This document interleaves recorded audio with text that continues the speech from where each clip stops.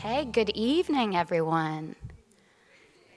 Good evening. Welcome. I am Cecilia Wichmann. I'm an associate curator of contemporary art here at the BMA, and my co curators, Jessica Bell Brown and Leela Grothe, and I are thrilled to welcome you tonight with immense excitement as we kick off a new series at the BMA. This series is Risk Taking Women in the Arts. And we're thrilled to gather in connection with Martha Jackson Jarvis's breathtaking exhibition, What the Trees Have Seen, which is in the contemporary wing. and um, we hope you'll see it tonight and then again and again while it's on view through October 1st. So, tonight is the first in three discussions sponsored by Deborah Buck Foundation, which is an organization supporting institutions that are actively working to reverse the marginalization of women in the fine arts.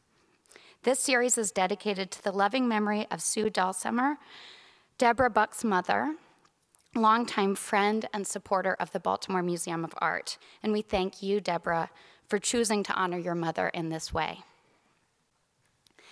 Yes. This evening, we gather for a meeting of the minds between two artists who we most deeply revere Martha Jackson Jarvis and Elissa Blount Moorhead. What is about to unfold live is their conversation with us here at the edge of our seats, present and listening in. Martha and Elissa are luminaries with decades of discipline spanning work and experience between them. Martha, nearly 50 years, most often in the practice of sculpture, and Elissa, over 30 years in the realm of film and expanded media. so, um, rather than siphon any time that can be spent listening and learning from their exchange, what I want to do is simply direct you to their websites, marthajacksonjarvis.com and elisablountmoorhead.com, where you can spend more time after this evening's program.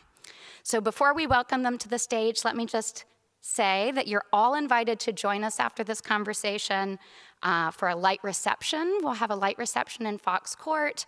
Um, and then, most importantly, above all, to experience Martha Jackson Jarvis's astonishing What the Trees Have Seen in the Contemporary Wing. Please join me in welcoming Martha and Elissa to the stage.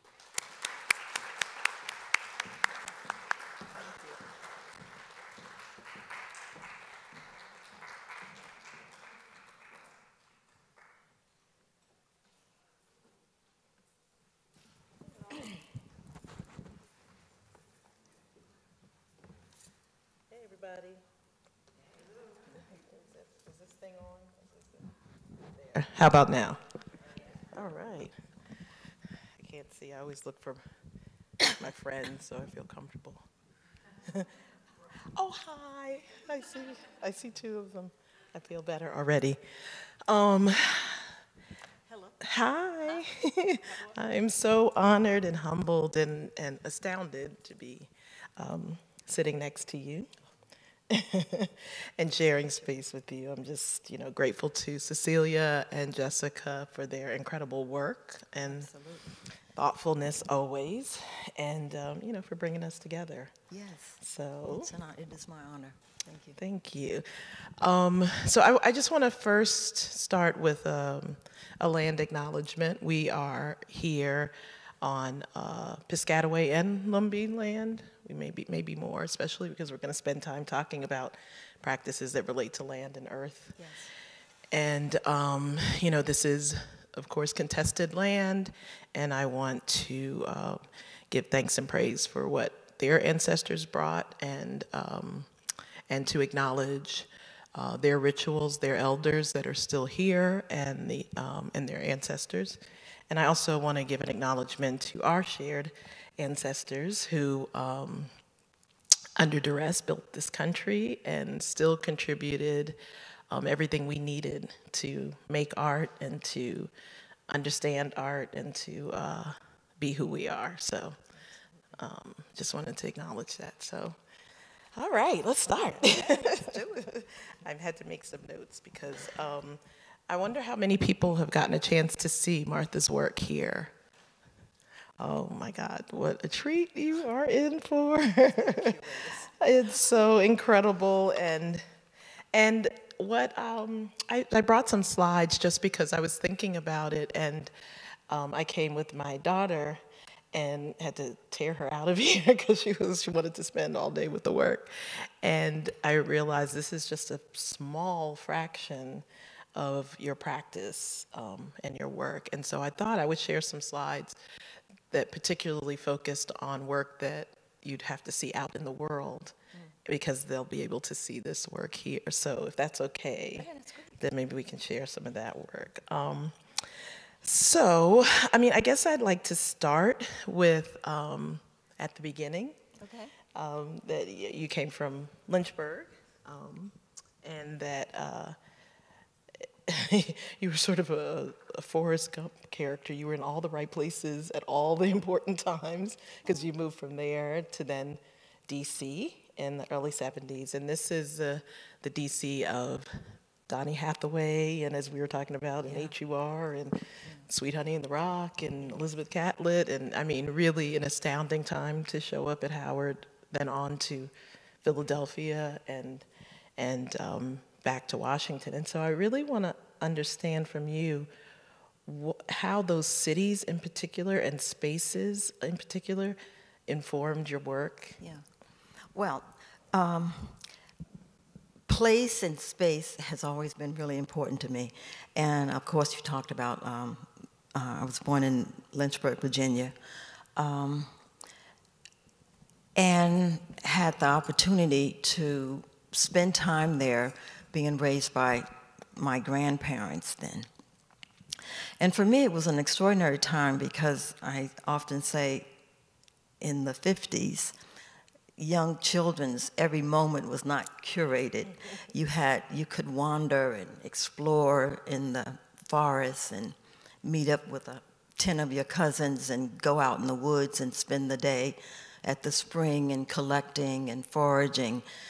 So I think from that experience I gained an extraordinary um, love and sensibility to the materials around me that early on, I realized that I was not alone in the planet, on the planet, that there was all this extraordinary energy. And I think that's the word that has woven its way through my work over the years. The energy of entering the forest, the energy of seeing a, uh, the spring or the water coming from the mountains. Um, was important and it stayed with me. And I left Virginia and moved part of the Great Migration, you know, out of the South. My family moved from Virginia to Philadelphia, you know, this kind of straight line, you know, the, um, historically there. And for me, country city, never the suburbs.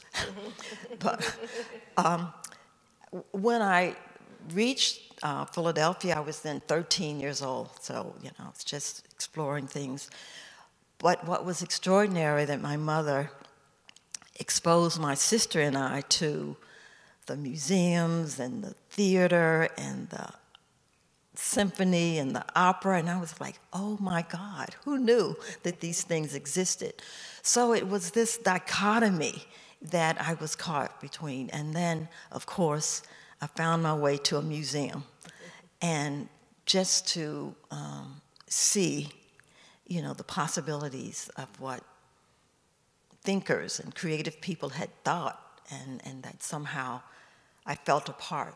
I felt a kinship that seemed to stay with me. Did you did you think then um, that you would be an artist, or did you think this is just something I need to be near? Well, you know, for art, I it was something I did in secret, really. You know, mm. I did it in private. I would do it in my room, or you know, if walking in the forest, you could assemble and do all these kinds of things. Uh, playing with rocks and stones, always gathering materials. So early on, I think that stayed.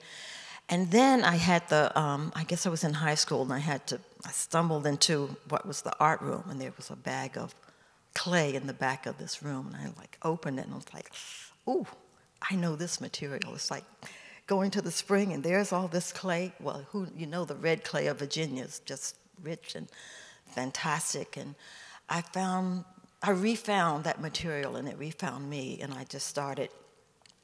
I went home and I was really steadfast. I had practiced what I was going to say to my mother.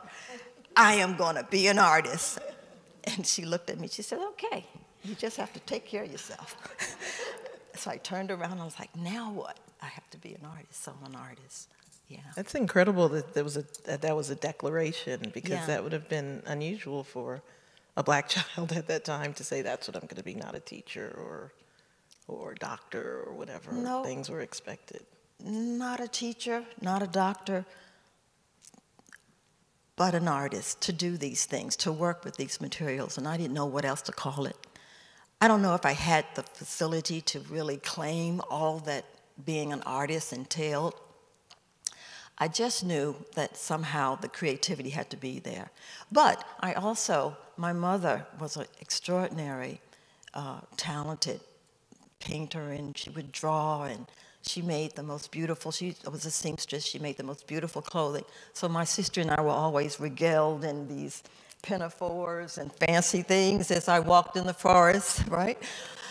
Uh, it, I'm sure she was happy about that. right. So, uh, and my sister always managed to keep her socks clean, and of course, I would like have mud all up the leg by the time I got home. So it was part of a creative source.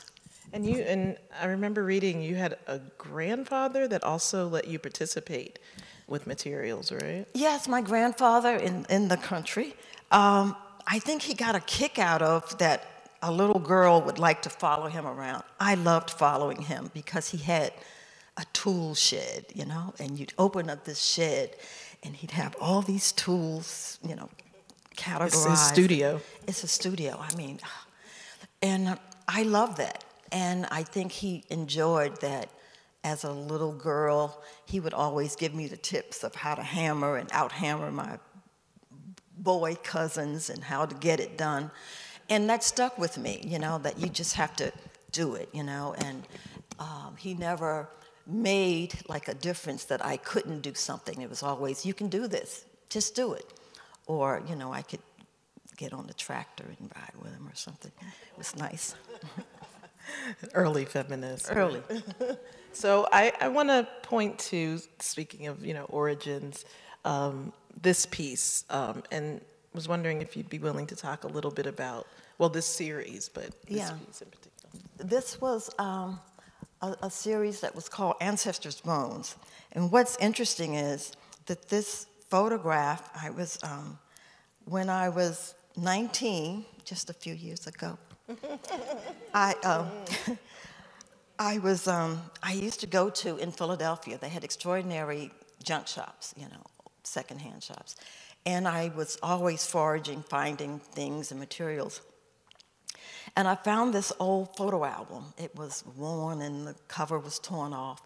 And of photographs. It was a, obviously, you know, a family photograph that someone had just turned in. And of course, in the front of the book, there were all these beautiful black and whites, you know, and it was of uh, a, a white family, you know. And as you moved through, the, the pages were like crumbling and the photographs were still intact. As I got near the rear of the album, there were all these African American people, black people in the book. And this image, this is one of the photographs, and I took those, well, it took me years. I kept that album with me for at least another 20 years, right? And when I traveled, I kept it, and I didn't know, I knew it was a resource, I just didn't feel uh, that I could manage the material at that point. Um, so at this point, I did an exhibition. It was at the University of Delaware, their museum, and it was called Ancestors' Bones. And from this photograph, I thought it was so extraordinary because it just reminded me of my great grandmother kind of sitting, who was like the, the matriarch of the family, and there she is, like holding court on this extraordinary kind of, um, really, the environment. Uh, and this photograph to me spoke about um, claiming one's space, right? it isn't, uh, you know, a, a space that one would say, well, this is just a fabulous house. But she sits on it like a throne. But it is her space. She commands it. Uh, she's obviously the elder. And I thought this photograph was so telling because there was uh, a young woman who's facing and looking at us. This, it, you can't see it so much in this photograph, but in the photograph, she's really eye contact, you know, with whoever's taking this photograph and you can see that she's a, a mixed race mm-hmm, person, mm-hmm. right? And then I was also struck with the animals because these are like really uh, old hunting dogs. They're so svelte and healthy, and they all stand ready. And they know not to walk up on that porch. They stand down and they stand at guard because she's holding and commanding the space.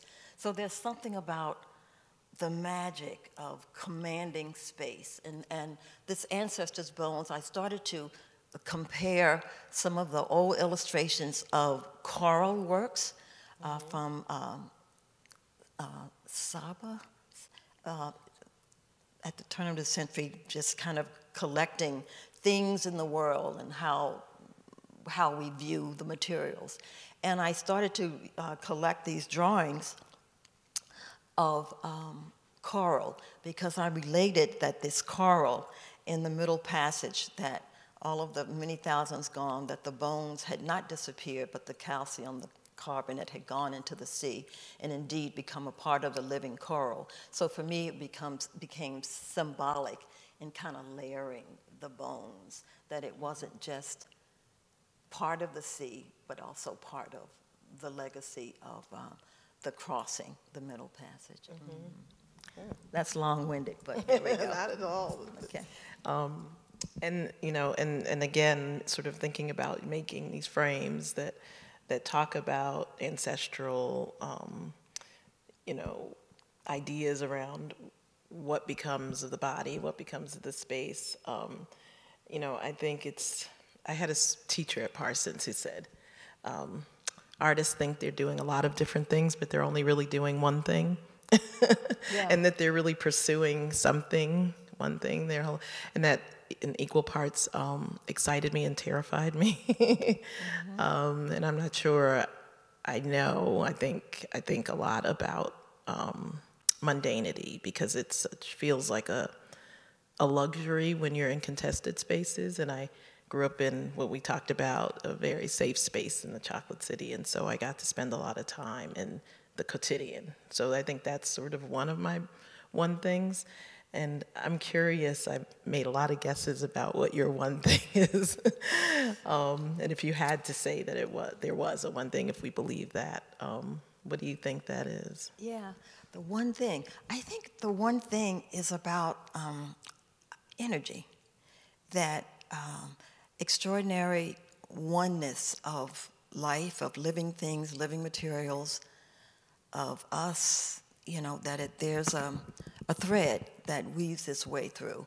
And I guess I'm really intrigued with how we encounter this energy, whether it's in space, the materials. Um, I think that's it. Yeah, yeah, yeah that's my one thing. I'm going to try to use this properly. Let's see if I do. oh, yeah. So, um, I had the great privilege of moving to DC when I was young and sort of um, being able to grow up in a space that's an interesting city in that it's a green, very green city, you mm-hmm. know, or it was anyway. And, you know, growing up in Rock Creek Park in that red mud. yeah.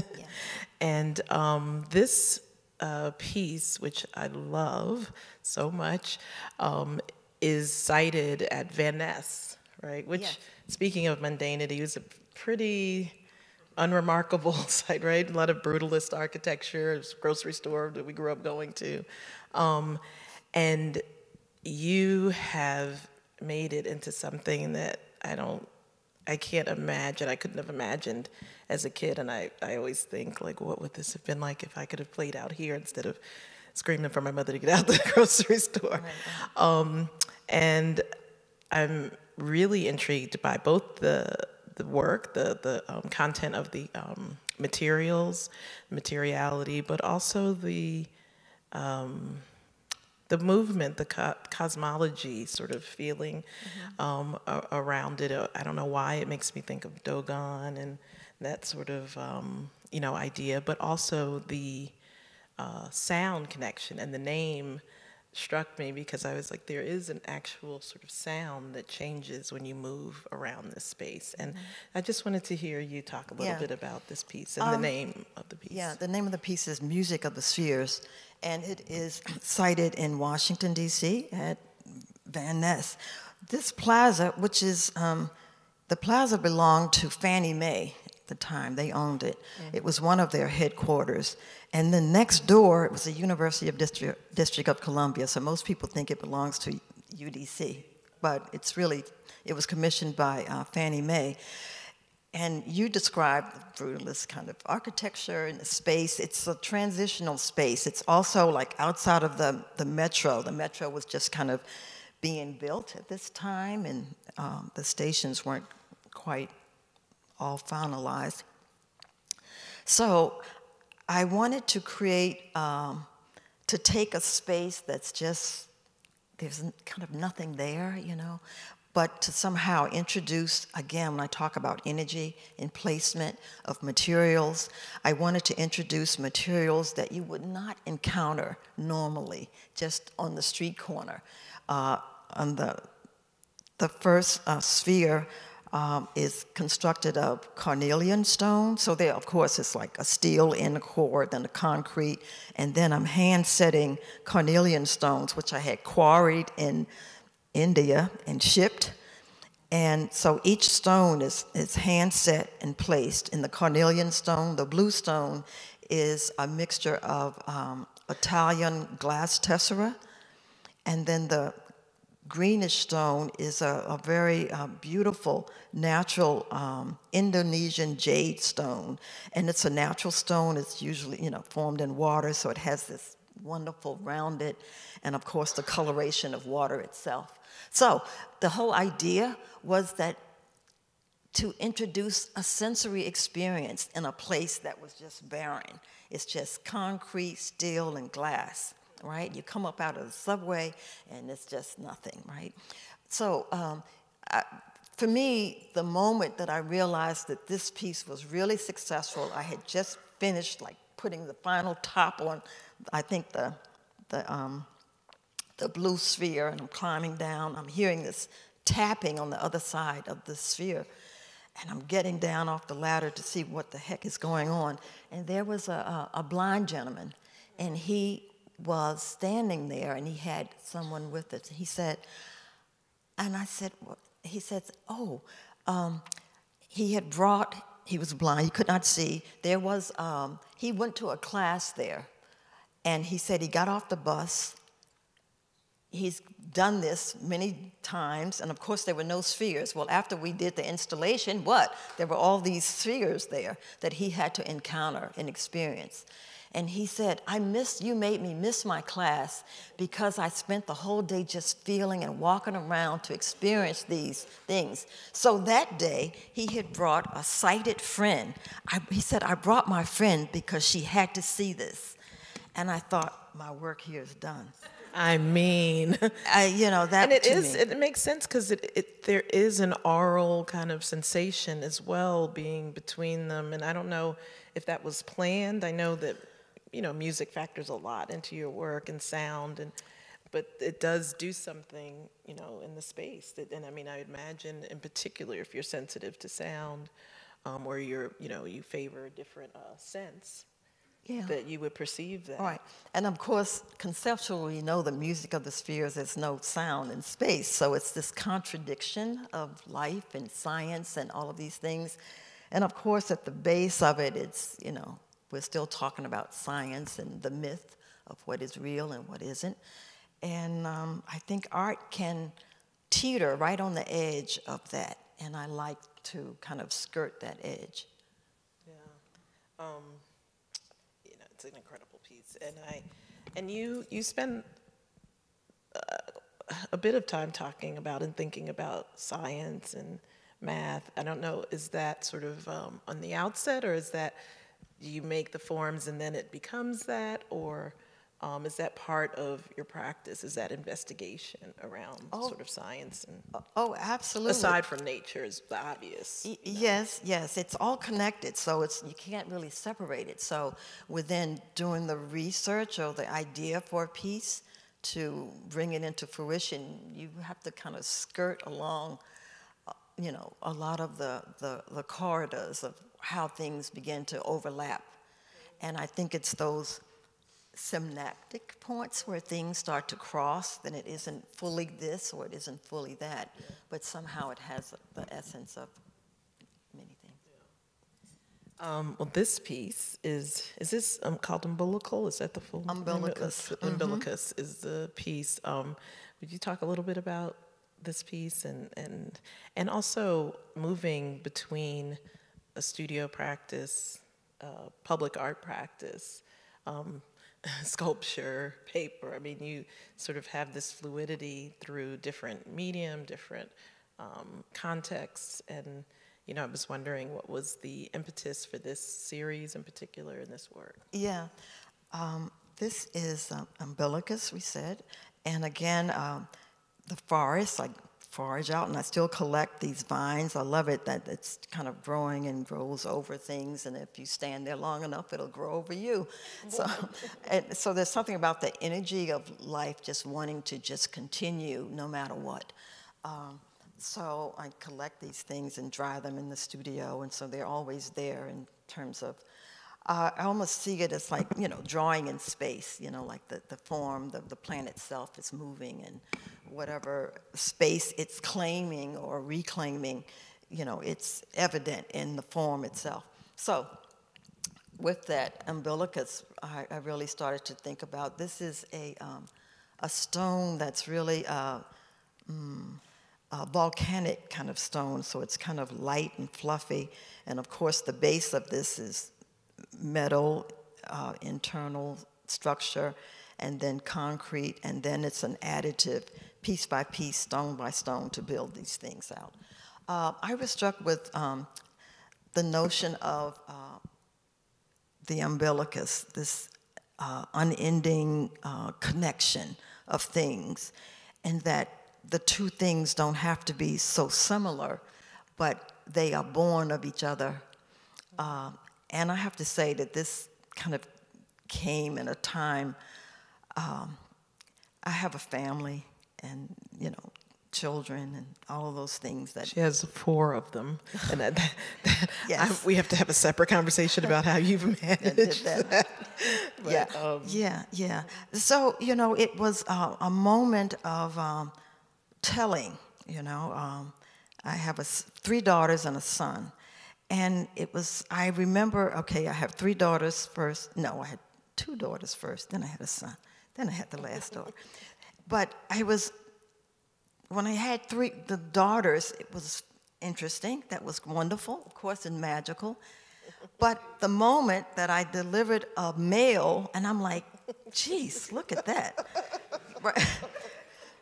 Okay. I can relate. I missed the health classes. I was in art class. So, so the notion that, you know, my little body could produce a male, you know, and I just remembered my husband's like, get over it, Martha. Yes, it's, it's okay. So I created umbilicus just to announce to the world that this extraordinary thing had happened. Right? So umbilicus. I love, I love that. It is, it is a miraculous It's a thing. miraculous I, I delivered a son as well into a family of Amazons, and and I remember the first time I, I changed his diaper. All of his cousins were around, and they said, "What is that?" And um, I said, "Oh, well, that's you know where he makes pee pee and blah blah." blah." And my daughter said, "Oh, his boy vagina." Okay. And we all said, yeah, mhm. that's what it is. Keep moving. Yeah. Because it's different. it's different. It is different. And then the context of us.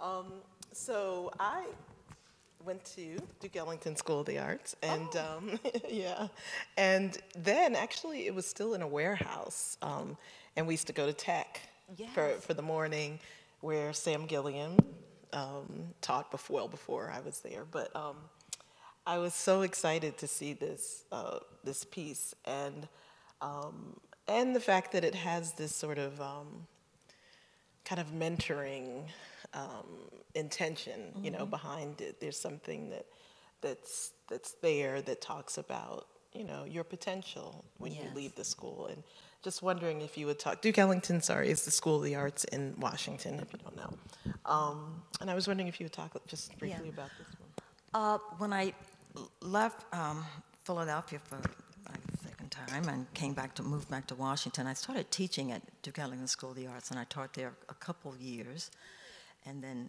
you know moved on.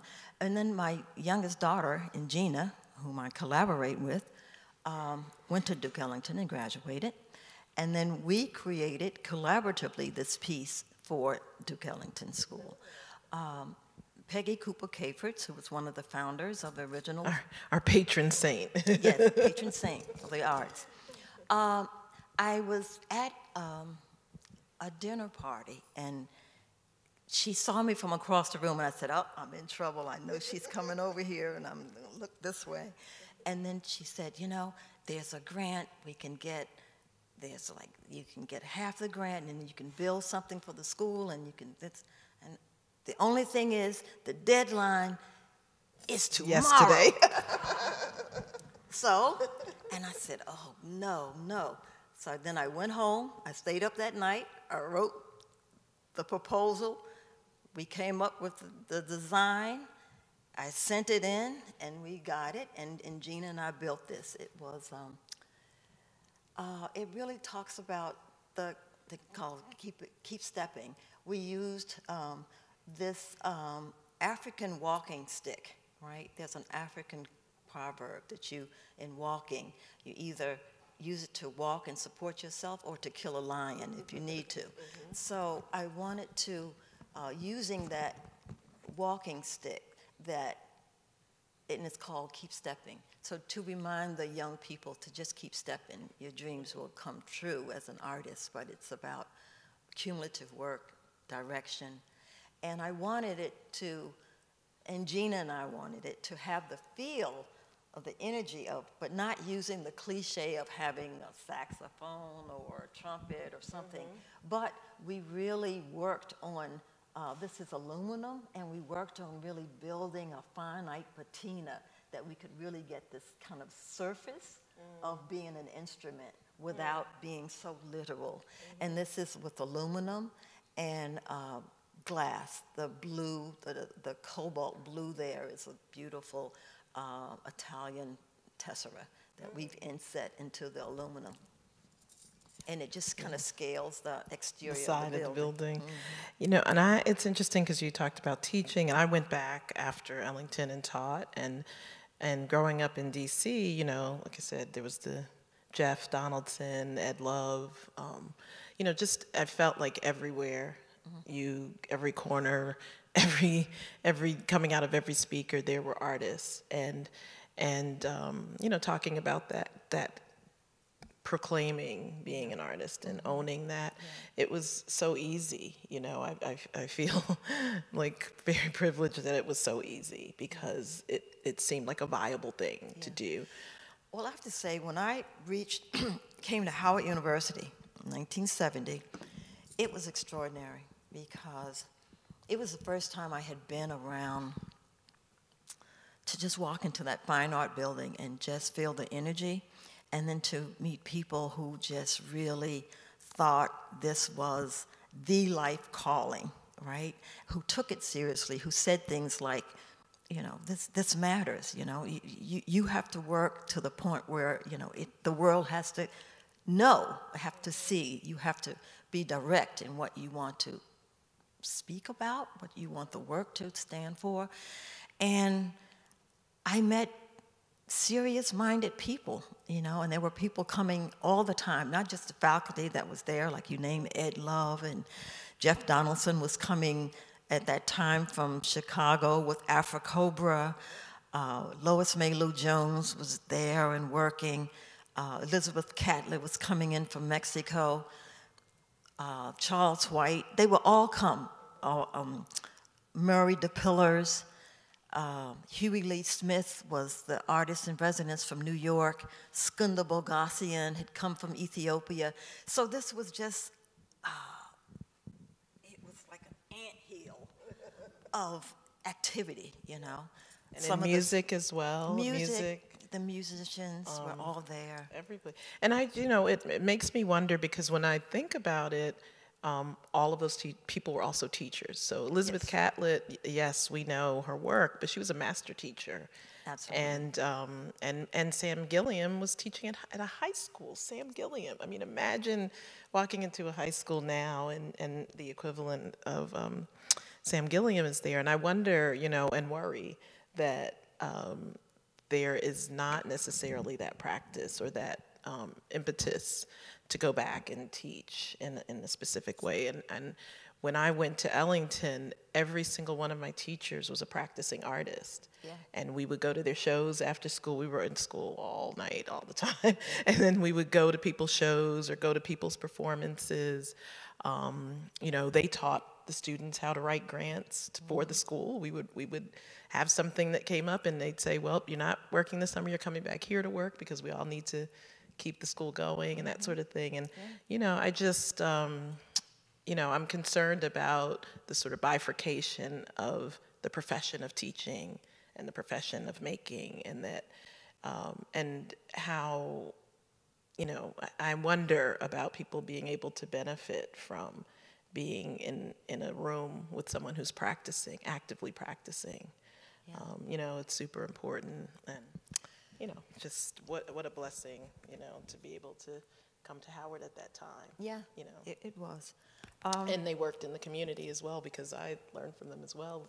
So again, they didn't feel like they had to be there just at the Mecca, as it's called, but also in community, working and, and teaching. Yeah, and there's a generosity uh, among artists. It, it really is. I mean, when you mentioned Sam Gilliam, I mean, um, there's a community around artists and how we lived. And um, I know, like, the poet Carol Beane is here, and her husband Michael Platt, and their home was always open, and young artists was working there and apprenticing and staying over and all those things. And Sam, uh, generosity spread around the city.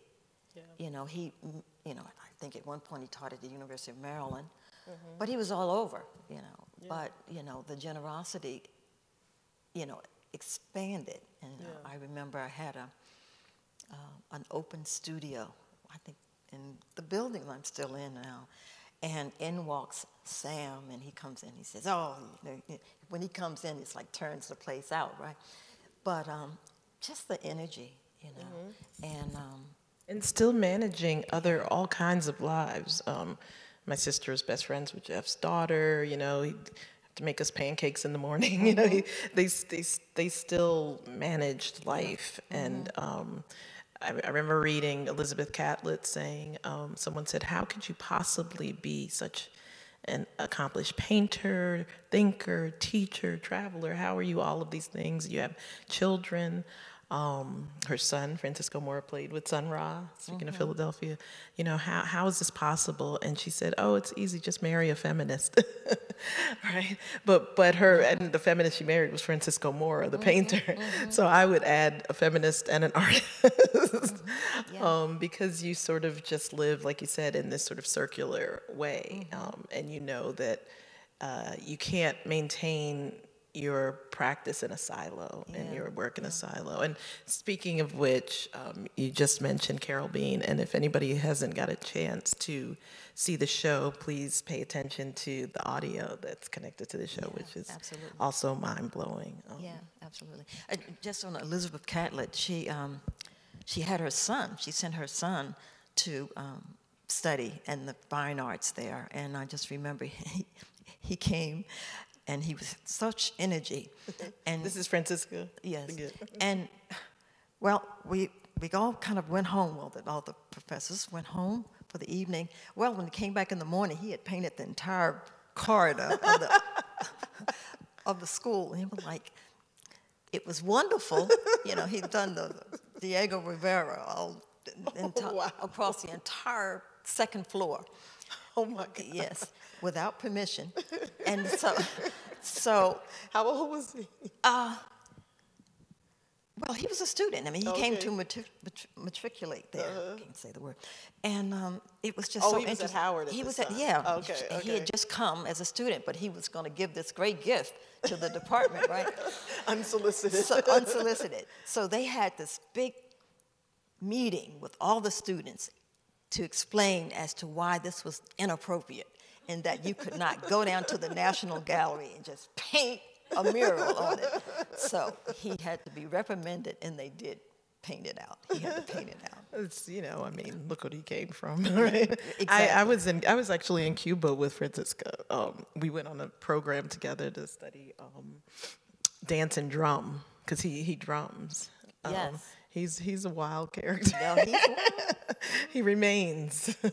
I'm sure. oh, that's that's incredible. I'm mad they painted over it. Yeah, they did. Um, well, I wanted to, I don't know if people will recognize these shots, but these are from um, Daughters of the Dust. Oh. So I'm now connecting you to my world in film. And um, I don't know how many people know that you worked in the art department, or you were, you were the art department probably. Um, No, you and Kerry, maybe? Kerry, James, Marshall. Kerry was like the, the head artist. hmm Kerry James Marshall and Michael Kelly Williams Oh. out of New York. And then, yep, and I worked on it. So, So what is, so were you creating sets or objects? uh, working on the sets, uh, I, I think they in- invited me particularly to work on Nana Peazant's, her, the bedroom, the interior, what her interior space would look like. And of course, you know me, I just brought in a lot of stuff and it was really full. And Kerry came in and said, It's too much, they can't act in front of all of it. so we started to just take things away. You know, once I do some build it, they start, you know, next, you know, erasing a few things. But, you know, some of it remained. But that was, um, it was a, quite an interesting um, foray into it because it was the first time I had really visited the, the Sea Islands. And it was like stepping back in time. So much of that film you didn't have to make up, it was already there. The history, the people, the community, uh, so many of the, there were community people who were in the film. They weren't just actors, they were people from the islands and the, the, the history itself. And the landscape, oh my God, it was so haunting and beautiful and ghost like, and just the presence of centuries was mm-hmm. just unfold right in front of your face. And, you know, the, the water, the, you know, the, the legacy of the food, you know, the dress, it was all there Yeah. and authentic. Yeah.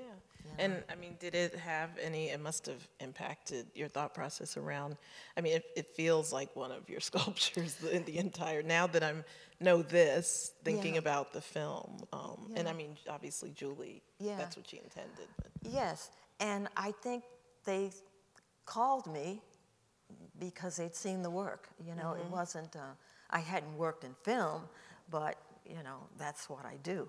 Yeah. So that was just part of, and of course, I lived it. I mean, that's, that's what the house looked like and felt like in the country where I grew up. You know, it was my great grandmother's house and churning butter and milking the cow, all those things.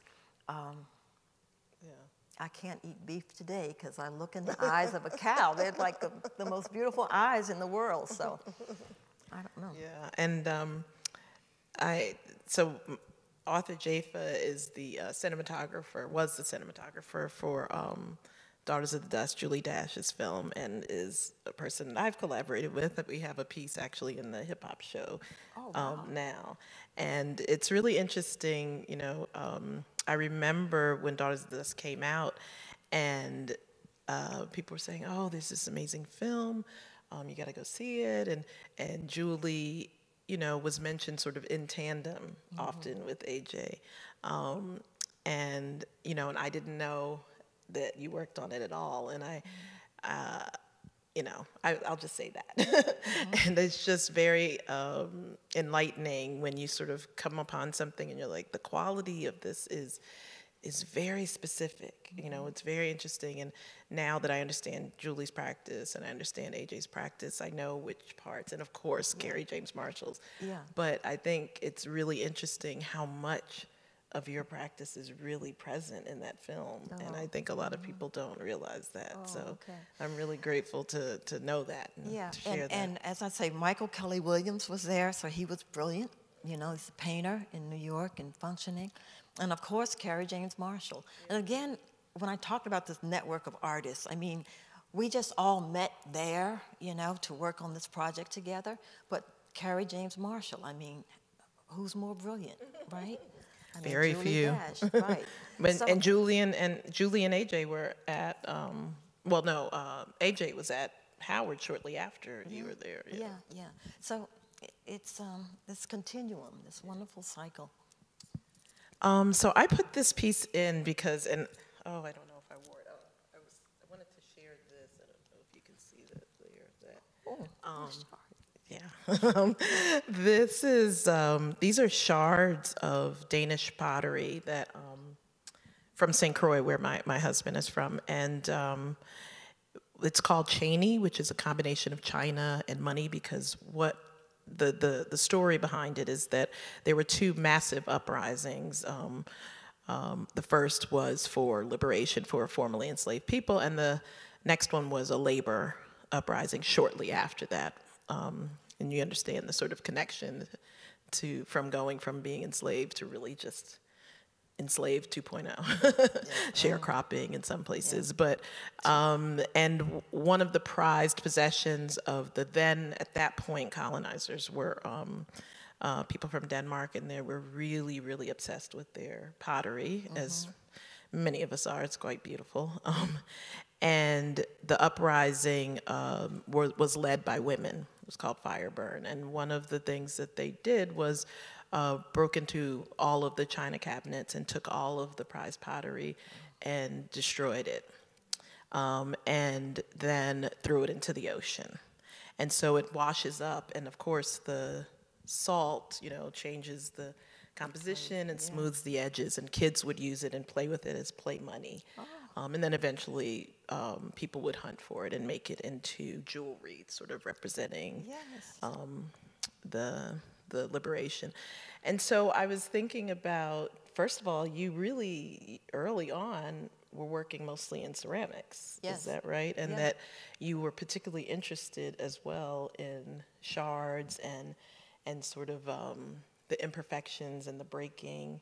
Absolutely. Um, and I think, wait, I think I, I might have written down this quote. I hope I did. Um, ah, someone wrote, and I did, I'm sorry, I did not find out who, um, that those pieces, those broken shards, would serve um, as a sort of incantation, you know, with the purpose of bringing forth the benevolence of those that possess them, right? Because you were talking about family pottery. Yeah. Um, and I was thinking too about bringing forth the malevolence in this case, um, but then also the energy um, that was imbued in these pieces when these women stood up and, and, and decided that this would be the symbol for liberation. And then again, when artists brought them in and took them up and then started making work um, in, in sort of contemporary time. So I just wanted to hear a little bit more about the shards and their pottery. Okay. Yeah. Well, shards uh, played a um, a big role, I guess, in in my transition from you know we using clay and other materials. And in ceramics, you know, you're working in clay and you're building things. And my interest was never, well, I won't say never, but it really wasn't so much for uh, functional pottery, but of course it did. But I was much more interested in almost the building like material of clay and that sort of thing. So that once I was uh, started to fire, you know, objects, and of course the dreaded thing is to open the kiln and somehow it's cracked and it's broken and this thing and it's like boo hoo. Well, my thing was like, this is fabulous. this is fabulous. So I just started to break things, you know, and then when it exploded, it was just fabulous, you know, you know, much better than what I'd done. So I started to use that and collect it in pieces. And then I started to have children, and they would break everything in sight. And no one ever knew how it happened, right? So there was this accumulation of broken fragments, and I'm joking, but I was really struck with this notion that the thing didn't end. And there's something about, again, the energy of the explosion, of the breakage, that it's an act, right? It could be an act of violence, it could be an act of joy. You know, you're just smashing this, you're having a great time, right? right? Um, and that's funny because these pieces were also um, in the Danish culture. They would they would break um, the pieces against the wall. I think for is it Christmas or yeah, some holiday? Many celebrations. Yeah, which things. is sort of ironic. yeah, yeah, and it's just um, it's wonderful. And then over time, people who knew me just started to, you know, I, I broke my favorite cup and I just couldn't throw it away. So I'm putting it here. So in my studio, I started to gather a whole pile of artifacts that people would come and just contribute to or broken things. And, and the children would say, oh, I broke something else for you. Here it is. right. That we can do. That we can do. So the shards become important. And I love that it's fragments of a history. You don't know the full story, but you can see still the beauty, you know, the marks, you know, the thickness of the clay, the glazes themselves, you know, to think about the temperature that was required to melt and fuse the, the clay and the, the, the, the glaze.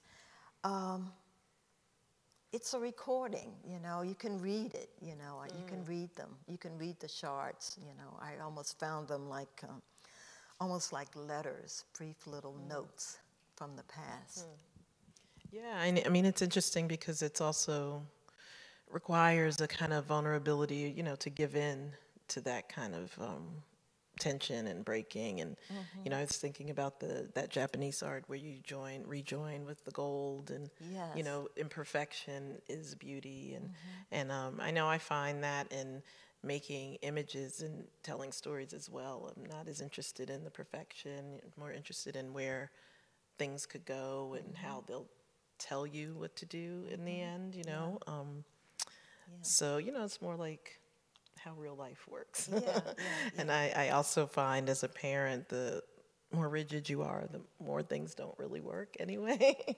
um. So, so it's sort well of a lesson. All, yeah, just let it all go. um, so speaking of being a parent, that's my artist child sitting there, um, not wanting to leave your piece. Um, and I wanted you to talk about these two in particular. One that is um, referencing, these are pieces that are actually in the show that you can see here, um, referencing the flag. Um, and then um, the this piece is the, is this the red? Red road. Yeah. Um, and I just I just wanted you to talk about them. Honestly, every piece in the show is so intriguing. I would really I'd want to talk about all of them, but I was particularly interested in this idea of traversing steps um, mm-hmm. of your ancestors. You know, we think about that in a metaphysical sense, but you literally were traversing the same steps and thinking about topography and and materiality from from where he came to, to where you are and the parallels. And I'm just I was just wondering about these two in particular. Mm-hmm. Okay, let's start with the one on the right, right. The red road of dissemblance. Um, we talked about that it was really retracing or reimagining uh, the journey of Luke Valentine, my uh, fourth great grandfather.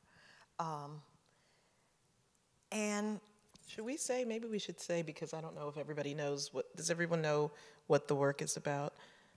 Um, maybe you should talk a little bit about oh that Luke Valentine. Mm, okay. Uh, well, Luke Valentine was my uh, fourth great grandfather, which we recently discovered had fought in the Revolutionary War. And this was a history that my family did not know. I had never heard that before. Um, my brother, who was kind of the family archivist, he's like the historian, and he's always searching.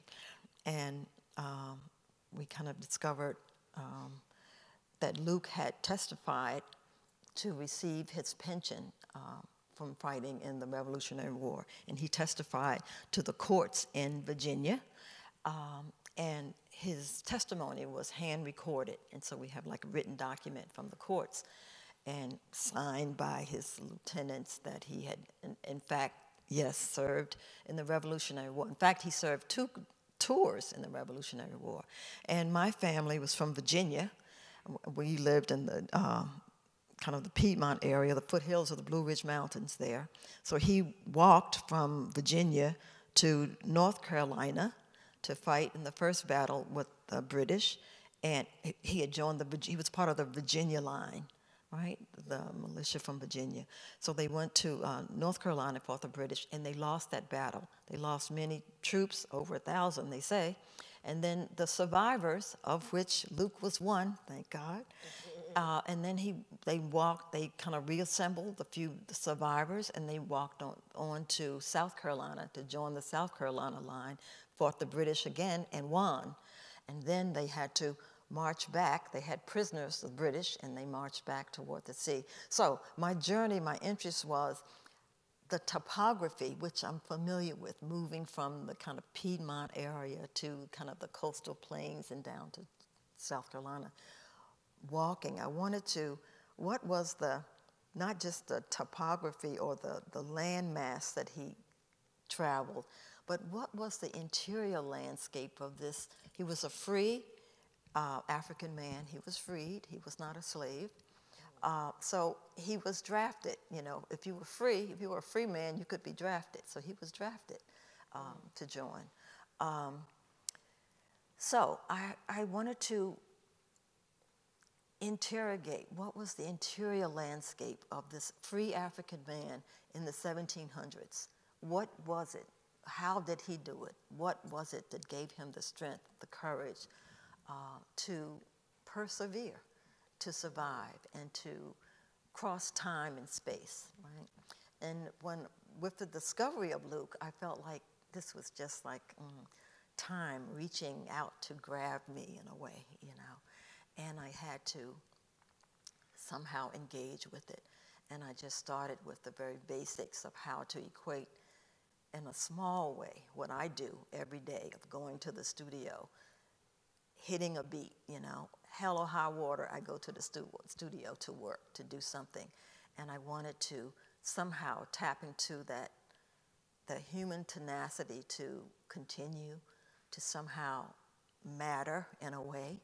And I tried to do um, comparing, if you will, in a strange kind of way, uh, my work and his work then. And I just started with the paintings. It's not it's downstairs when you go to see the show. The morning prayer and kind of a nocturnal prayer. And I started using the joss papers, like the mm. ancestral papers, where you can kind of a wish or a prayer mm-hmm. to the ancestors to somehow invoke the energy. Mm-hmm. And it started to rise, it started to come, you know. And the first thing I always say I heard was his heartbeat, you know, that beat. And I wanted to somehow keep that, that this was a living, breathing person who did this. And not only did he do it, but thousands of other men did it as well. Um, and it was crossing time. I felt like, you know, we were connecting in ways.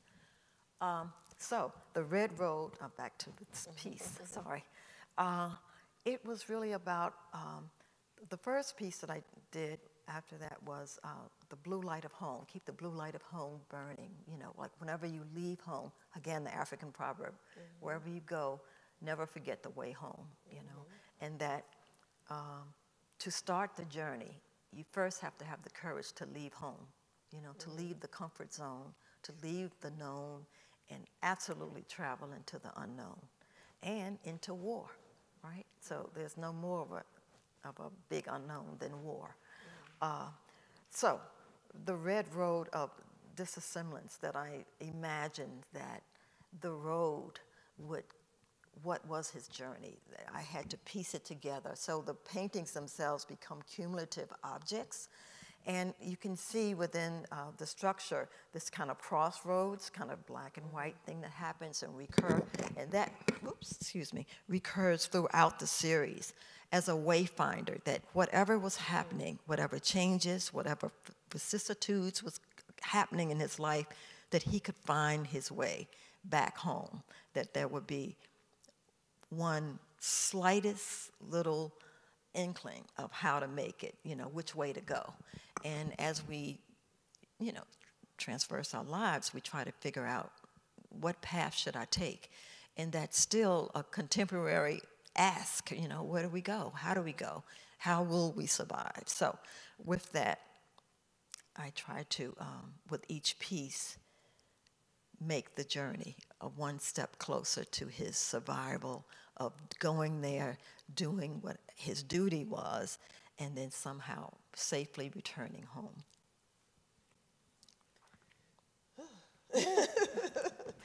take that, take that in. Okay. um, and I, am going to go through these again. I wanted to just quickly go through some of the public work because mm-hmm. you know we're not able to see it here. Um, you know, a, a lot of times I think there's this imperative, particularly with people of color or with women or people that are, you know, perceived as uh, maligned, um, to, you know, make work that that um, is either figurative or linear or that talks about sort of a, a certain kind of activism. And I think it's it's interesting, you know, that abstract artists have always been able to sort of shrug, I won't say shrug that off, but to um, gracefully manage that um, and still hold on to the idea of abstraction, which, um, you know, I, I think about that in terms of my work. I made a piece called As of a Now, and it wasn't linear, and it wasn't, um, you know, made, it wasn't even, in, it was what they call expanded media. It's not even something that you can put on your television or whatever, but um, the freedom of the imaginary, the freedom of um, identity not being so um, on the nose. Mm. Um, you know, we all work in identity and we all work on things that are obviously connected to our history and the, th- and the topical things that we're concerned about. Um, but black people have often not been given the freedom until, you know, we had the, the, the Norman Lewis's and, you know, other people who mm-hmm. said, you know, we, we think about things in layered and complex and alchemistic ways. So, um, you know, I thought this piece was really interesting, um, interesting sort of totem to that, literally yeah, and figuratively. Yeah. I'm interested in like this image. Where did it come from? Now, someone has taken like the piece and composited. It's very interesting. that's, um, just, that's, just, me putting it. Oh, I just wanted to make it so that they could see the detail. Yeah, that's wonderful. Thank you. Thank you.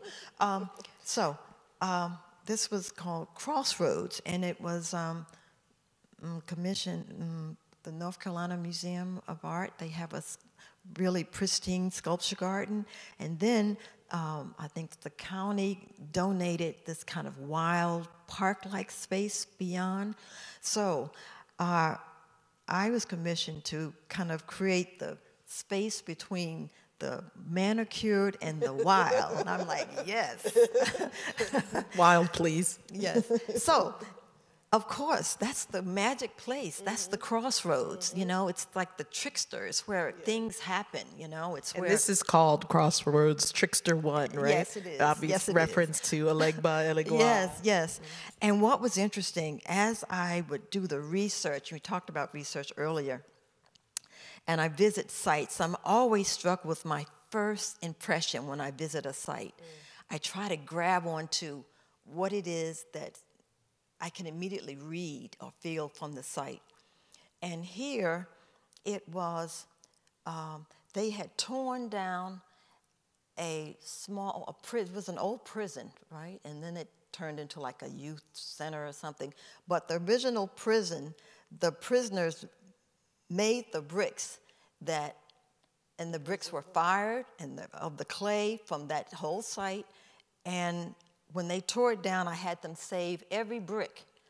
And I drove my tr- trusty F-150 down to North Carolina and filled it up with those bricks and brought them back to the studio. And with a little rock hammer, you know, you had to, the, again, the action of this thing, of the breaking, we hand chiseled with the rock hammer to open those bricks and to expose this beautiful interior red color. That's the natural color of the mm-hmm. clay. Mm-hmm. And you can see, well, in, in, this image you don't see it, but the, the clay of the earth there in North Carolina is just this vivid red, beautiful clay. Mm-hmm. So you can feel this thing have grown up. And as we were like unearthing the bricks or breaking them, you could find like little things that had been put in the some of the pieces, like little metal things or little fragments of things. So again, cumulative history, cumulative energy, and what better to make the crossroads for the tricksters than pr- handmade prison bricks? Can't get any better than that, right? and, and, I mean the also the interesting you know metaphor over time of prisoners breaking bricks, you know the yes. the, the, prison coming down, yeah. and then you further breaking that and you know yeah, the sort of metaphors yeah, for liberation. Yeah. It's and it was an interesting site because the history uh, they had documents that it was a site during the um, Civil War, you know, where the soldiers and uh, the, you know would camp and it was a major campground so the ground would travel from like high ground and then down into a lower area where the the site would be and another piece that I tried to build before that I couldn't convince them to build, that there was a, a, a natural cow path because they had to feed the troops from the Civil War, right? So they had all this cattle and the cow. So the cow, you know, cows, if you're in the country, they take the same path home every day and down. So these cows had etched this kind of ravine down the hill. Mm. And I thought, that is so extraordinary. I wanted to build like a huge corral at the bottom of it, but they didn't buy it. but it was a great that would idea. Have been nice. It's not too late. that would have been incredible. Um, and this is this is the um, is this umbilical piece in the context of the wider show? Uh, yes, that's another. Um, uh, again, part of that uh, Ancestors Bones uh, exhibition and you can see on the wall behind the sculpture are all of these, um, these are drawings and composite-like pieces using the corals and then kind of drawing out uh, the ancestors' bones and using, again, the, um, uh, this stone is this beautiful stone that's kind of, um, it's in coal mine fires and it kind of uh, fires, the, it, they almost feel like bark, but it's petrified stone that happens inside coal mines. And I don't know what else to say, but it's just a beautiful uh, composite like stone that I get, and these pieces are fabricated of that material, along with some glass tessera that you can see parts of green and that sort of thing. It's incredible. I mean, the, the the conceptual yeah the conceptual ideas and how you sort of match them uh, with the natural world is just astounding to yeah. me and and I um, like going from the tiny little drawing excuse me into mm-hmm. the that the drawing would happen through vines and larger forms mm-hmm. you know mm-hmm. moving from kind of a micro to you know, the macro space um, and this this this work is a piece again. Your, your two dimensional work isn't even two dimensional, but um, this is a piece that's at uh, Anacostia, I believe. Is that right? No, Near the, this, this one, is not the river piece. No, no, this is another piece. It's um. Uh, oh, the moon. This is the yeah, moon this piece. Is moon yeah. dance. Yeah, this is part of a uh, a 50 foot mosaic of, of glass and stone that's in uh, Silver Spring, Maryland. And yeah, there's another part. Anyway, this whole, um, the um, complex, the developer, he developed this whole unit and he had this idea about the galaxy. So I said, yeah, I could do that. So um, uh, I started to think about, you know, this kind of scape, the landscape and moonscape, that sort of things, and materials. And There it is. I think, is, do you have another image of that? Let me see. If I Oh, okay. Oh, this is fun. This yeah, is this also is part of it because this is on the plaza. Now, the first image that you saw, it's much larger. It's like 50 feet, and it just goes on and on with stone and that. But this was the other side of the plaza. So as I was, we were like finishing up the this piece. They were talking about putting down these awful benches. And I said, oh, this was happened to be on a Friday. So I said, you can't possibly put those hideous benches there. They said, well, you know, you don't have time for another idea. I said, Monday I'll have you some benches. I'm going to design it. So I designed what I call this is Sun Ra's intergalactic street thro- throne. this is just one of them. So it's two of them, and um, they bought it. So I built Sun Ra's intergalactic street throne that you could just come and sit and be part of the universe. I, I feel like Sonny himself yes. made that happen. Absolutely. and I have to say, in Philadelphia, I grew up with Sun Ra. Yes. He had uh, a huge house yeah. in Germantown, and I lived in Germantown. I went to Germantown High School. so Oh, okay. all through high school, Sun Ra would be traveling Europe, then they'd all come back to Germantown, and it would be on. They would Yeah. be playing music out in the yard and all kinds of things. We won't talk about it. But, but it was fantastic, and I just loved it. And just recently, Sun Ra, uh, um, well, he's dead. Yeah. But the leader, he's Marshall- 99. He Marshall was- Allen. Marshall Allen. He was in Baltimore. Yeah. And uh, I couldn't go, but I streamed it live. And Yeah. I had a champagne. Oh, I wish I would have known that. Me and my friend Yeah. Sean were just talking about missing that show. Yeah, it was fabulous. Yeah, he's But a, Sun Ra. he would. I mean, this is absolutely the throne that he would have required on, the, have on the public space. And, Absolutely. And it's, it's funny because he's having this like resurgence. And um, I grew up. You know, my father's opening to his show on WPFW was a Sun Ra record. I I think I went to see Sun Ra the first time I was maybe seven, and and I had a camera and I took an image of him. I still have it. Oh, fantastic. Um, and um, and a funny, and his last name is Blount. My father liked to remind people that we had the same last name, and he would say we're cousins. Yes. But um, I remember a story of going to. There there used to be a big Halloween parade that was way more special back then in New York, um, and it was definitely you know for you to come and wave your freak flag. And we were there once when I was young. I don't know how old I was, teenager, with my father, and um, come coming down the street were people with. Uh, you know, someone on their shoulders with all this regalia, and everybody was dressed wild in capes. And I was like, wow, that looks like, you know, Sun Ra. My father's like, that is Sun Ra. That is Sun Ra. He was in the parade dressed as himself. But um because when you're Sun Ra, you don't need a costume. You don't need a costume. But you know, but again, like stayed in costume. Speaking to your sort of, you know, I keep calling it the Forrest Gump effect, but that you were there at that moment in history, that commune and what Yeah. the, the work that, that it was creating and um, you know, it was such an incredible time and that they were Yeah. accessible, normal people still. Yeah. and he would come down. Uh, there was Um, Oh, a a park wave. near the high school, and he would just in procession, like you just said in New York, they would just a whole procession down the avenue until they got to the park, and then they would just play for everyone. You know, so it was just open, and Yes. the possibilities were open. So I'm, I'm getting the signal to move faster, so I'm going to move faster.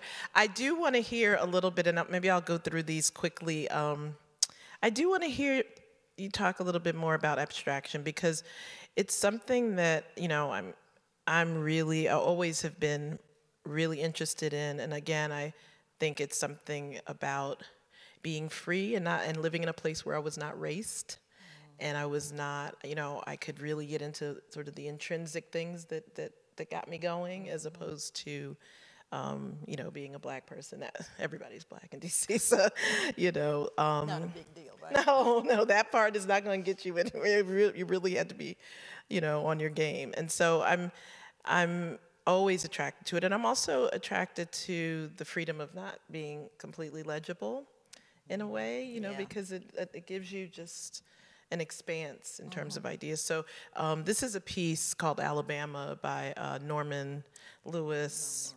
And um, and then I started thinking about who I sort of imagined people talking about you in the context of, and and I was, um, you know, I, I started thinking about um, Robert Smithson and Smithson, um, the jetty, and um, Sam Gilliam. And and the two on the top. I can't. God, now it's her name just went. Somebody help me with the top left. Who is that? Is it um? Uh, Louise yes, Louise Nevelson. And um, in terms of their interaction, well, his interaction with the with the natural world, and and her in particular in terms of um, even though it's you know monochromatic, like how she would build and and you know deconstruct and reconstruct. And then I was thinking about who actually you might have been inspired by or looking at, and I Noguchi and of course Sam Gilliam, um, and then of course Howardena Howardena Pindell, Pindell. who All of the is above. all of the above. and I, of yeah, I wondered absolutely. like because you also we, we have a game at home where we talk about um, music from and we talk about branches and roots. Mm-hmm. So who you came from and then who is sort of coming from your work. Mm-hmm. But all of these people are also somewhat colleagues, collaborators, collaborators, sorry, Mm-hmm. um, co-conspirators, um, but also your your your um, colleagues can also be your mentors and, Oh, and inspiration as well. And so I, I just wanted to hear, and, and I also wanted to just point out too their pioneering conversations around black abstraction. Howardena Pindell in particular, oh and what it cost her to kind of push against that in the you know post black arts movement where people were like you have to be figurative, you have to do a specific kind of work. Mm-hmm. And you know, Jack Whitten, you know, to the point of saying I have a manifesto about what I'm going to do and what I'm not going to do. And I just wonder how these people impact you as an abstract artist. Yeah. First of all, the bravery of all of the, you know, these people. Speaking of risk taking, there we brought it to the topic. Yeah. Speaking of risk taking, I mean, like Howardena Pindell, I mean, my goodness, she just put her foot in it and opened doors for generations, you know. She was, is brilliant and tough, the tenacity.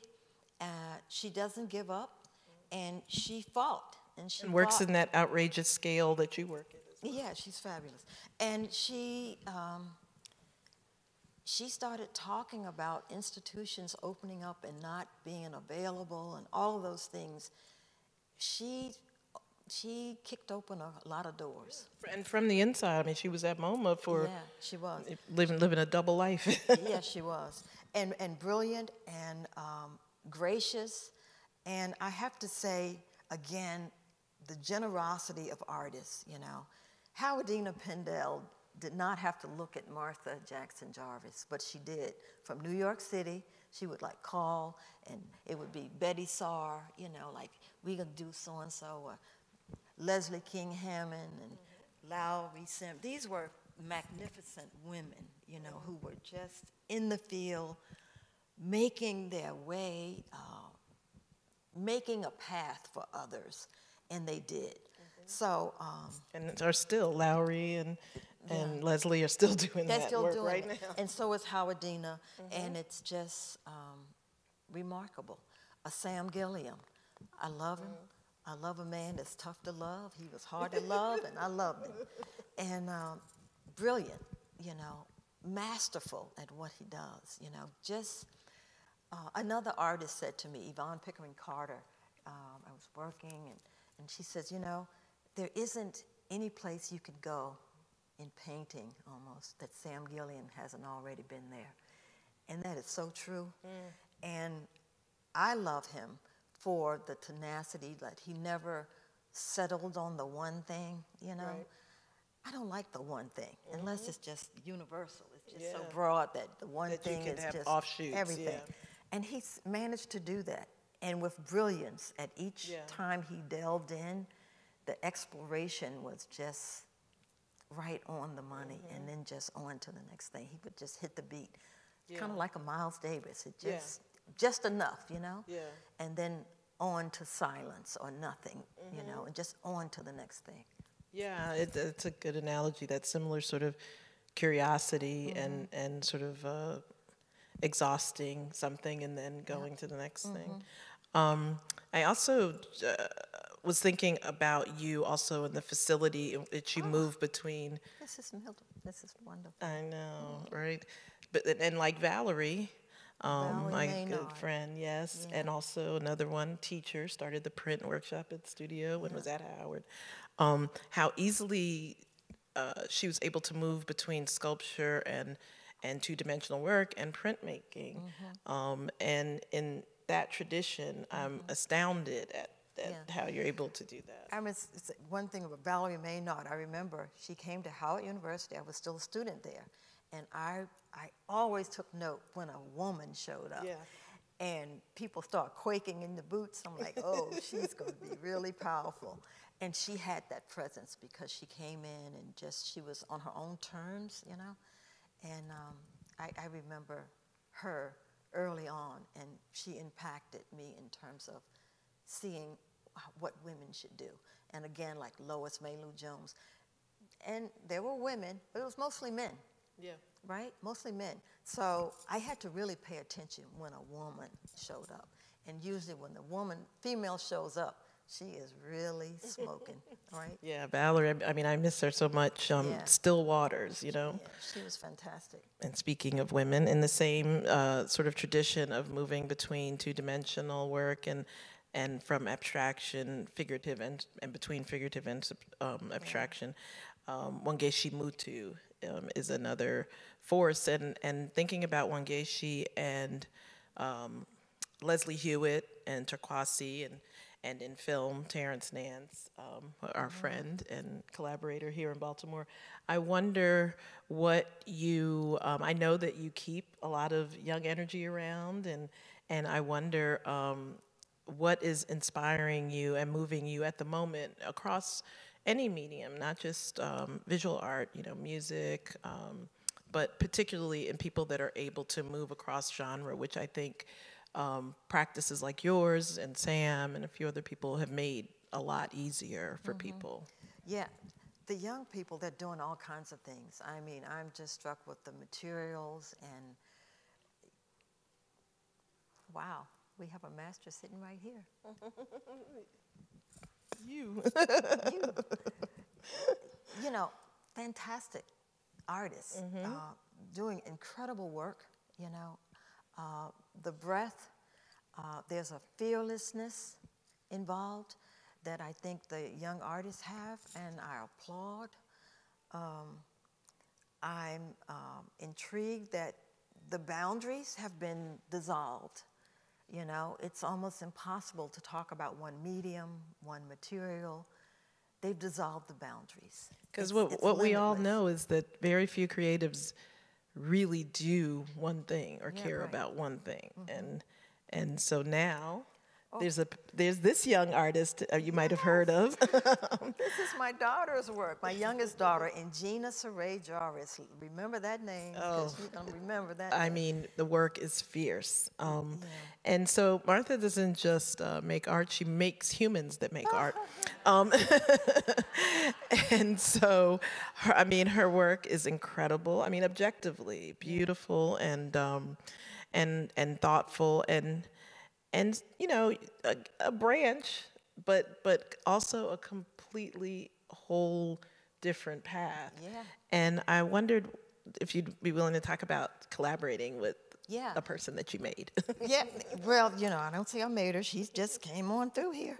It's um, you know, it's very interesting. And Gina, again, she was the youngest, and I tell you, I would be okay. We got to get in this truck. I've got to go down to wherever I have to go, and you have to come with me, and we have to be there. And we would get there, and I'm working on some installation, building something.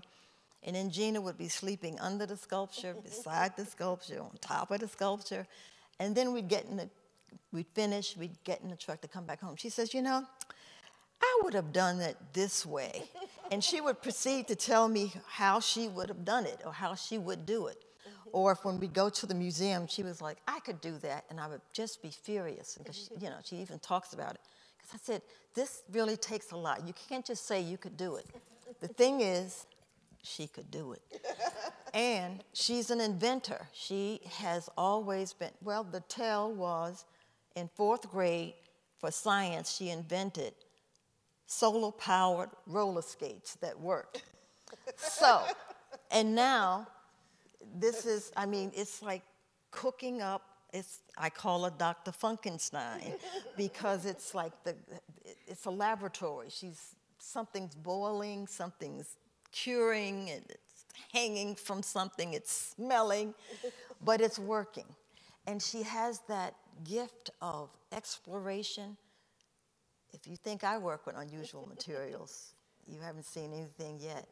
So, it, it, you know, she has the energy and it's born, you know. Yeah. Uh, I, at, I, I'm standing back watching where she's gone. You know, she'll go to heights that I will never reach, you know. But that's the next generation, isn't it? Yeah, my friend, and if I look my out friend in the Pierre audience, says, there's another young artist sitting there who's just My friend So Pierre says they're here to replace us. yes, yes. But you know, um, r- my friend Rashida always says, "Look, we don't fall from the sky." So you know, clearly, um, her exploration skills were honed, and and and there was a permission given and a space given, and Yeah. and um, I guess this last slide I, is is really a rendering. It's not an image yet, but. Um, I know sometimes it's it's much uh, it's it's interesting to talk about what we're working on next. Sometimes things that are in motion or we've already done, we're kind of mentally past them. Um, and so this is an upcoming collaboration between you and your daughter, is Yeah, right? and Gina and I uh, have designed this. It's for the 11th Street Bridge. Well, you know, and part of, um, in most cities, um, I guess in the 70s, 60s, 70s, they started to build the freeways, and for the most part, they ended up cutting through a lot of the um, black communities. Uh, and basically kind of cutting it off from the city. So, at any rate, this bridge Thanks, is now Robert up- Moses. Thanks to Robert Moses. yeah, it- it's now abandoned, but there's a resurgence to kind of rebuild the, the bridge and turn it into this kind of bridge and parkway. So we uh, had competed for the project to build uh, the first piece that would uh, combine the community and the bridge. So this was a piece we, we, uh, we called it Sunrise, Sunset. So basically, it's a, a series of portals that we wanted the community to be able to move in and out and around. We uh, took energy from the Anacostia River there, that it was almost like this um, um, the circling of water, you know, if you throw a pebble in it, this kind of uh, circling that would happen, that we wanted to kind of a capillary wave, that's what it's called, a capillary wave, that if you threw a pebble in the water, that it would continue. So we wanted to have this reverberate across the landscape. So this was, um, so this is just a rendering, so we have a lot more work to do, but this is the actual layout. And basically, it'll be uh, steel and glass. So we'd like, um, we took some satellite um, pictures really of like nocturnal views of the cityscape and the, the, how it's lit from outer space. And we have this patterning that goes up the walls. These look really thin here, but they should be thicker and hopefully to engage. So it's meant to really have ch- to change as you kind of leave for uh, in the day, entering from the community, and then leaving the riverfront in the evening going back into the community. That's the sunrise, sunset. Sunrise, sunset, yes. So we have our work cut out for us, but When, when is this? This is 2025? 2025, if they keep going, yes. Probably 26. There are so many things I want to ask you. Well, let me let me um, I want to close this with the some of the things from from the Jack Whitten Manifesto. Um, three things he says are learn to understand existence is as political, which I I love that because I've never been able to quite articulate that. I I always say, look, if I made it, it's black. if I made it, it's political because I am, you know. So it doesn't need to be overtly that. And this sort of really is a succinct idea. Yeah. Um, remove the notion of a me, but he also says remain true to yourself, which Yeah. I sometimes think of that as a you know p- a polarity, but it, it's not. It's just, it's it makes sense. Yeah. And um, you know, I want to leave you with the last word to sort of, you know, uh, riff on that, and um, and also just the idea of um, abstraction in general and what it's done for you and what it does for um, the Black imaginary. First of all, thank you for thinking I can riff at 70. Your Okay. work, your work is jazz. okay. Um, uh, I like remove the me because, of course, you know you you cannot in many ways, but to me that just means it's so much broader than uh, you and I personally, but you and I as human beings, you know, as humans, as this you know mysterious being, unique thing, people. Um, that it's you know the, the possibilities are rather endless and i think Jack Whitten's work definitely does that he you know that cumulative energy he definitely deals with it and um, the brilliance of removing the me but at the same time having the courage of a singular person and being that you are enough y- you know, and you have a responsibility, you have a job to do. So I have a job to do. So I'm doing it, you know, and, you know, don't get in the way. So I'm doing it. And then um, I think um, that's the important thing that, you know, for artists or creatives, you know, if I could say anything to young artists, it's just, it's important work, you know, and you have to claim it, you know, and it will constantly feed you um, an artist like Jack Whitten, I mean, his notes from the woodshed, if you get the book and just read it, spend time with it, just the personal um, testifying, if you will, you know, that's, I felt like it was it's so guttural, you know, what he mm-hmm. has shared with the world. Mm-hmm. Personal, yet not a myopic little view, mm-hmm. but really a world, a universal view, and how he lived his life, you know, to go to a whole nother country and come and, you know, uh, find this one tree and the community to embrace him. That's a human event, you know, that wasn't one me man who did that. He's able to communicate in whatever language, whatever continent he's on, because there's a complexity of ideas, and yet there's a unifying thread that can be understood beyond language, beyond personal culture, beyond personal identity. Yeah. We'll leave it with that, I guess. Okay.